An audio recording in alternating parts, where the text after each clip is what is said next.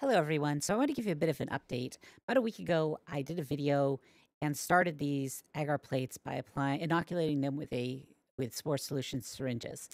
And I want to give you a bit of an update because I have had some really nice growth, especially on one strain in particular. So for those of you who didn't see the video, I'll try to put a link up above if I remember. But I got four different strains, four different strains of Spore syringes to test out. I knew one in particular, the one I'm holding right here, is known for being one of the most aggressive strains of this particular type of mushroom.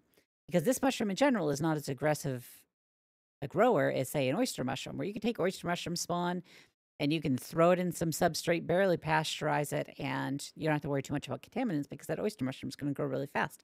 Well, this type of mushroom isn't as aggressive. So it's more prone to being taken over by contamination. That's why you usually have to be super duper clean.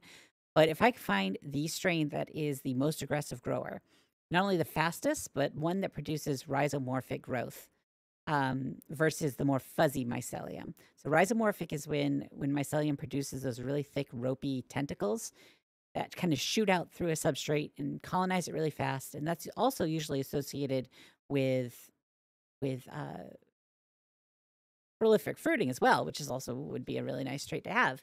But again, I'm going to be I, this one strain in particular looks like a strong candidate, and I'm going to be selecting the strongest samples from those plates and cloning them and moving them to their own plates, their brand new plates, looking for the best candidate to, to basically go forward with something I can keep in the long term, keep cloning, keep keep reusing. So it's, it's, it's, I'm very excited. I'm very excited to be finally working with agar plates and really getting into it. I only have one obvious uh, plate that had contaminant, so apparently my process is relatively clean, which is shocking since I'm, you know, not only new to this particular process in growing mushrooms, but um, yeah, I'm a bit chaotic, but I know how to be clean. I've been growing mushrooms for a decade now.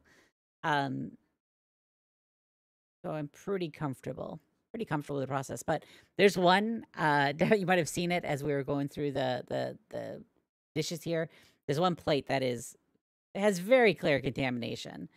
Um, it's got instead of the little fuzzy balls of mycelium, it has white, opaque blobs, little little blobs, little droplets of milk. You'll actually see it in the, the plate coming up. So if you haven't seen it already, that's not mycelium. At least I'm pretty sure it isn't, or at least it doesn't look like the other plate of that particular strain. So in any case, this is what I'll be doing. If you're excited about if you're excited about this new project, I really appreciate the thumbs up. If you're new to my channel, please be sure to subscribe.